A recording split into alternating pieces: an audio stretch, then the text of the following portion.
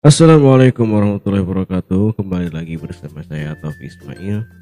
Kali ini saya akan mencoba membuat tutorial Bagaimana cara menggunakan 7 mix sekaligus dalam Soundcard V8 Yang pertama yang kita butuhkan yaitu Parallel input 5 in 1 Nah, di sini ada 5 input untuk jack berukuran 6,5 bisa untuk gitar ataupun untuk mic dynamic ya. Yang kedua yaitu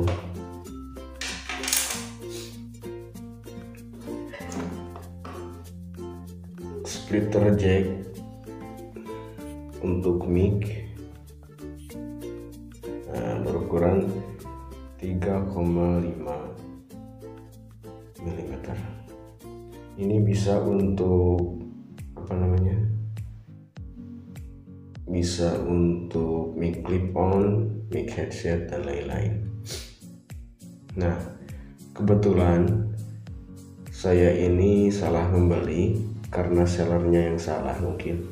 Saya pesan khusus untuk dua-duanya untuk mic ini malahan yang dikirim dua-duanya untuk audio atau untuk headset jadi ini tidak terpakai.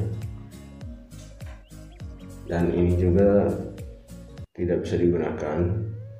Yang digunakan bis cuma satu.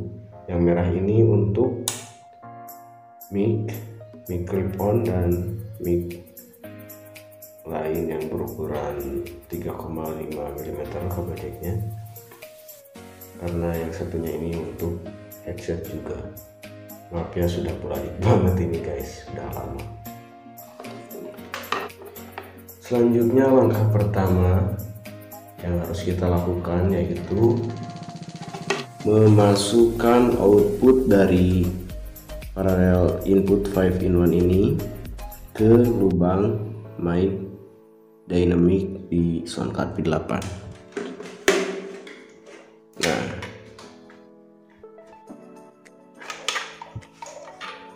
lubang mic dynamic ya.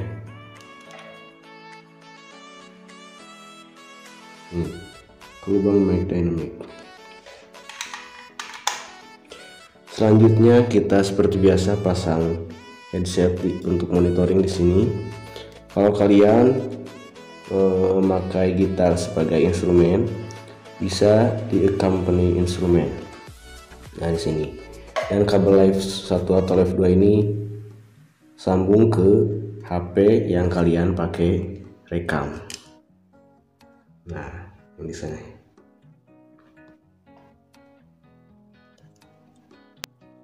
Selanjutnya kita pasang eh, kabel mic ini ke parallel input 5 in 1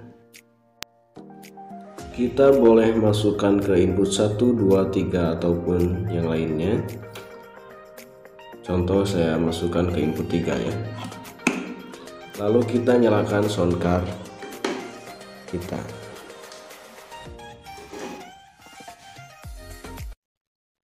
Selanjutnya kita coba tes dengan mengatur volume di parallel input ini. Cek cek cek cek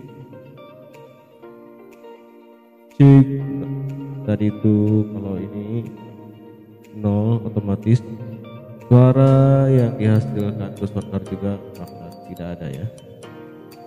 Kita juga bisa mengaturnya lewat volume di cek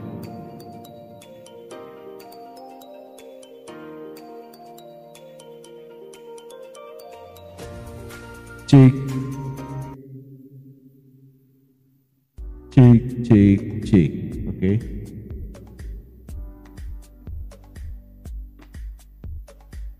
kita coba pindah ke input kedua. Cek cek cek cek cek cek cek cek cek cek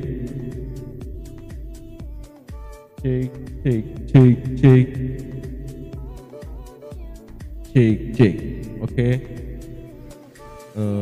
Berjalan normal 1 sampai 5 kita bisa pakai nyanyi rame-rame bareng teman-teman ya.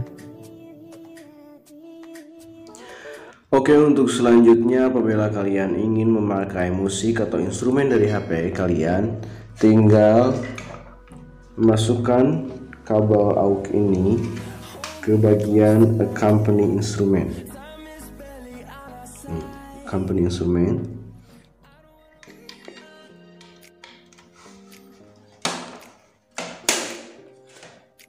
dan kabel jack 3,5 ini ke HP tapi jika kalian ingin memakai instrumen musik langsung dari gitar kalian tinggal masukkan kabel ini ke bagian converter selanjutnya dari converter menuju gitar kalian bisa memakai kabel jack to jack seperti ini. Ataupun kabel XLR to jack 6,5 seperti ini.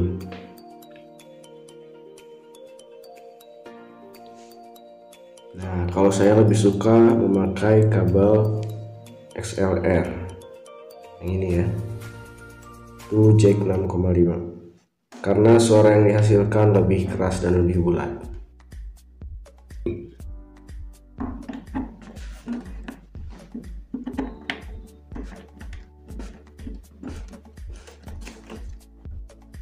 Kabel yang ujungnya ini kita masukkan ke converter nah beres. Kita tinggal langsung cek sound saja oke? Okay? Oke guys, sekarang kita akan coba sedikit cek sound.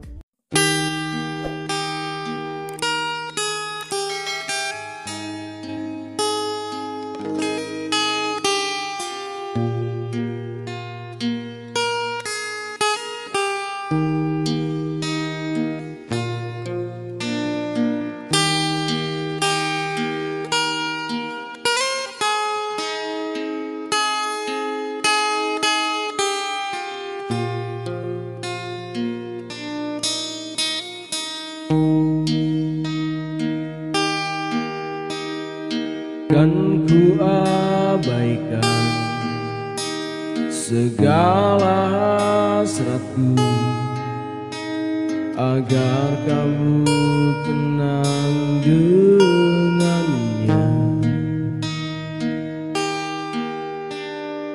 Ku pertaruhkan semua ragaku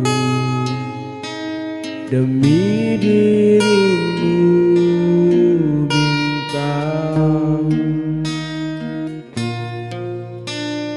biarkan ku menggapaimu memelukmu memanjakanmu. Tidurlah kau di pelukku Di pelukku